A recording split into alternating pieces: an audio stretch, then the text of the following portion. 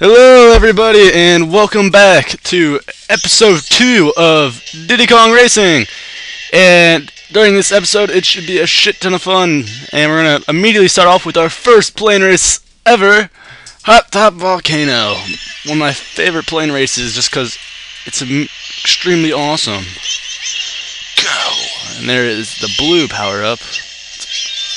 Because you can't get better than just the normal boosts in the beginning. I'm just normally just not very good at them.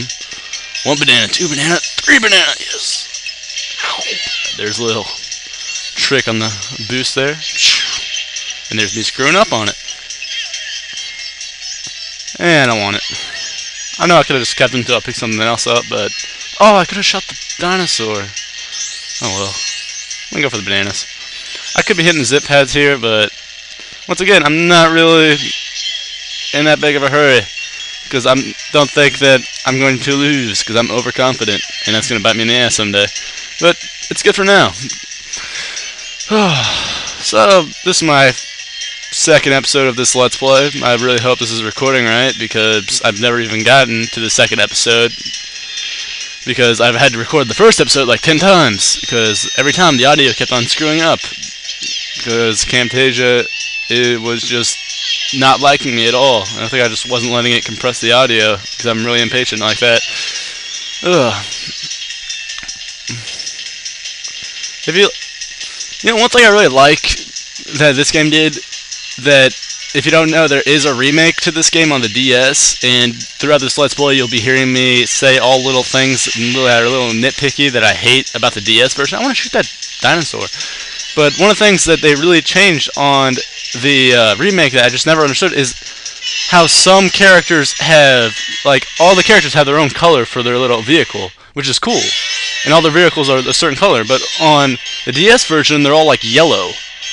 Which it just seems so bland and just steals the life from the game. I don't know why. Here's Genie with our eighth balloon. Awesome. Does he have a jewel in his turban? How does that being held up? Is it like sewn into his turban? Uh, Alright, we have our first boss battle, which is just epic. And we're just going to run away. No, we're gonna go in. Let's go in. Oh, I love the voices on all these bosses, guys. They're just extremely hilarious, and I think they changed them all on the DS version. It sounds like he's has a huge lip in of just chewing tobacco when he's talking there. Like, this first time is pretty easy. Watch me fly off the edge a couple times though, because that's how I roll. Like I get overconfident. Bam! Shoot you right up the ass. I love the music for the boss themes. Fuck you! Uh, and there's the boulder, which I don't know who would be that far out because you gotta stick to the inside. And the boost! And I doubt he'll overtake me for the rest of the race. Now this is pretty simple, like up this first little loop, but once you start getting into the more tighter loops, because that's how this entire race is, it's just one giant spiral, it, uh, it gets harder because you, you start power sliding and then you start doing some really tight power slides and you, there's a really good chance of you falling to the edge or hitting a tree. Oh man, I hate the trees. Like in every racing game, the trees are just deadly. Even in Grand Theft Auto, if you've ever hit that little palm, like not the little palm trees in Grand Theft Auto, but the little tiny trees, you can go be going 100 miles an hour and you hit that tree, you'll just fly out the windshield. You won't fly out the windshield in this game because there's no windshield, of course, but you'll definitely hit the tree hard and maybe a coconut will fly off and hit you on the head because you're dumb. And I'm very dumb. I'm going to do that like 10 times during this Let's Play. At least I think I'm going to. I don't really know how much how much skills I'm going to have during this Let's Play. Like, oh, there we go. That was too hard. Ugh. I'm pretty good at this game in general. Like, I mean, I used to be terrible, but I played it to death for a while, so I've gotten better. Uh, but I don't know how good I'm going to do with commentary. It's my first time recording and trying to play at the same time, so we'll see. Probably just me doing a bunch of absent-minded stuff, driving into, driving into water because I'm not paying attention. Uh, well, Mr. Giant Chewing Tobacco Triceratops over there is trying to say is that we have... Oh, shut up, Genie.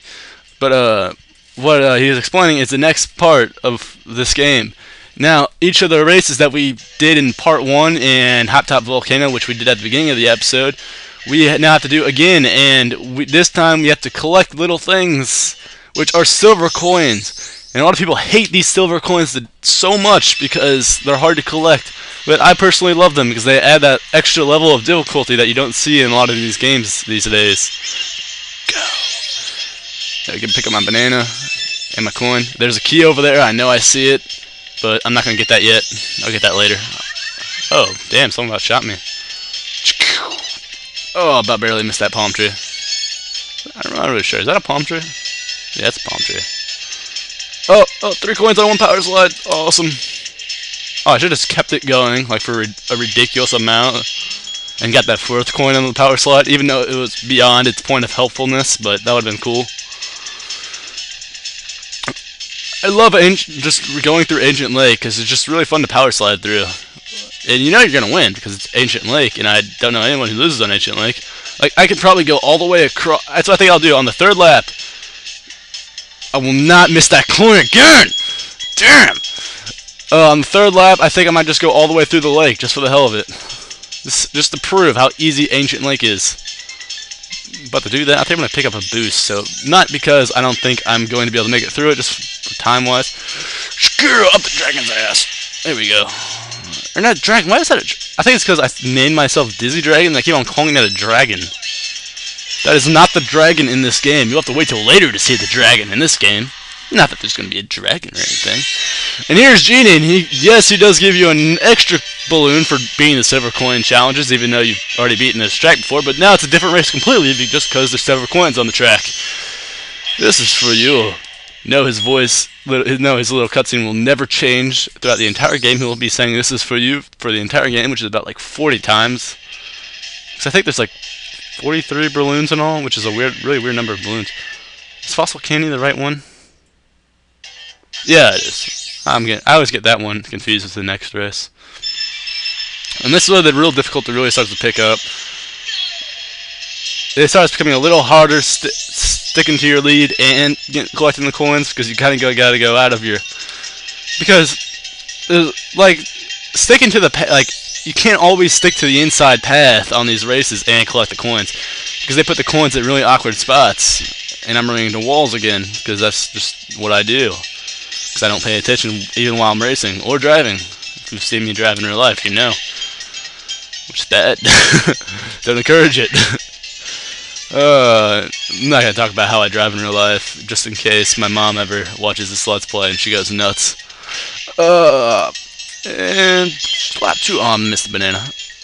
Not miss the zip pad, that's awesome. But I forgot to let go. Yeah. That dinosaur, I think, might be in every single one of these races. No, it's he's not in the next race. It's the only one he's not in in this whole little thing.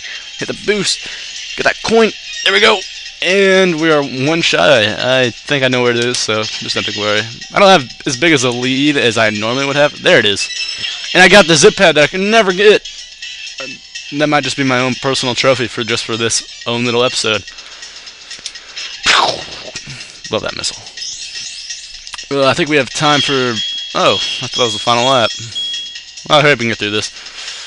Uh, pick up an oil slick. Or not. Uh, the oil slick's weapons that it can stack, it first starts with the oil slick, which just spin you out. You can still keep going forward whenever you spin out, but you lose a lot of speed and control. The second thing it stacks up to is a giant metal ball spike, which will blow you super skyward, and you'll have to uh, completely redo yourself. And this is the bubble, which if you get hit by a bubble, you'll probably be cursing a lot because you just got hit with a bubble, and you'll be have to stay in that bubble for like 10 seconds, which is completely ridiculous. That was the one thing about the DS version that I always thought was really weird. Because on the DS version of this game, they made it a lot easier but all the oil slick and like, especially like the bubble and the giant spike have they just completely increased how much like damage they do. Like the spike, you go flying off the track, and the the bubble, like you just sit there in the bubble and just watch like five racers just fly past you. Which I always thought was weird. And see now these the doors have two balloons. Oh no, I don't want to go in Ancient Lake again. No, not. I don't want to suffer through that. Jungle Falls. And this might be the last race we get through on this episode, depending how quickly I do it. I always had trouble with Jungle Falls when I was little. It's this coin in particular because I'd always hit it, and then because I'd never power slided when I was little, I'd always go straight into that water right there.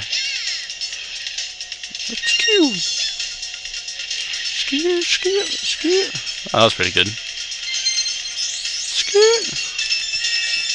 Oh, my strategy is just get as many coins as you can on the first lap, and then just use the second two laps to pick up the lead again. But you don't have to really make too much of a strategy for these first races. That's what I just normally do in general. I don't like to like try to save certain coins for certain laps, just because if you miss one, then like if like you're on your if you're saving a coin just to get on your third lap and you miss it, then you're just completely boned. You've wasted three minutes of your life and you're never gonna get it back. Ugh. But I like trying to get all of them. I guess that's why I have to restart. Oh my gosh, why am I just miscalculating the laps? It's like I completely forgot how to do basic math. I haven't taken a math class in two years. There's the shield. I don't know. I, thought I think that the, the way they designed the shield is a little weird. It's like an energy barrier just around your car. Could have made the stacked versions of it look a little cooler. I think all they do is just change the color on it and make them last longer. And that's all the stacked versions of the shield do is just make it the shield last longer. If I'm, if, I, if I'm correct. Like, see, there's this, this, crazy music for whenever the genie comes in here that I just think is totally unneeded. This is for you. Uh, I, th I think we hurry. We might have time for a hot top volcano. I might have to stop in the middle of them, but I'm gonna try to hurry up just to try to get all these done really quickly.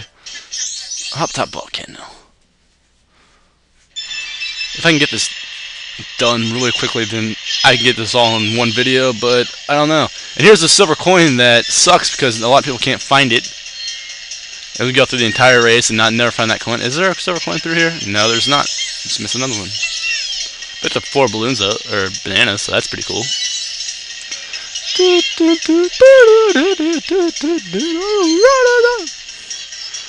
I always love the music through this place. Never really get what he's trying to say there, though, in the theme. It's just kind of like mumble jumble he's saying. See, right now, lap 2, I only have one more coin to go, and it's right here, so I don't have to really worry about it. So I can spend these last two laps just focusing on my lead. Like he said, go for it, and I'll be going for it. You know what? No. I'm going to be saving these rackets. I wanted to get 10 rackets. I'm gonna snipe you in the face or miss completely. I will shoot that freaking dinosaur on the third lap. I, I think he hops. Cause I'm, I do not know why. I, sometimes he hops, sometimes he does it. But if you shoot that uh, dinosaur with a rocket on this level, he will jump. Sometimes. I don't know. I'm pretty sure. It might be a, just my imagination just making me senile at the old age that I'm clearly am, but I'm not old. I'm not old at all, just in case you're wondering, but we're going to make this guy jump. Damn it, I don't think he even jumped. I, like, shot him with a flurry, and he just proved me wrong, and I think we're going to do a little spin here. Uh, but we made it through five races in the first boss race, and now we have to go back for another boss race. But I think we are done for this episode of Diddy Kong Racing, so I guess I'll see you guys next time on Diddy Kong Racing, where we will have our rematch with the chew mouth-filled Triceratops and see what's up. So I'll see you guys next time on part 3 of Diddy Kong Racing. See y'all later. I'm gonna get to a pause. Peace out, guys.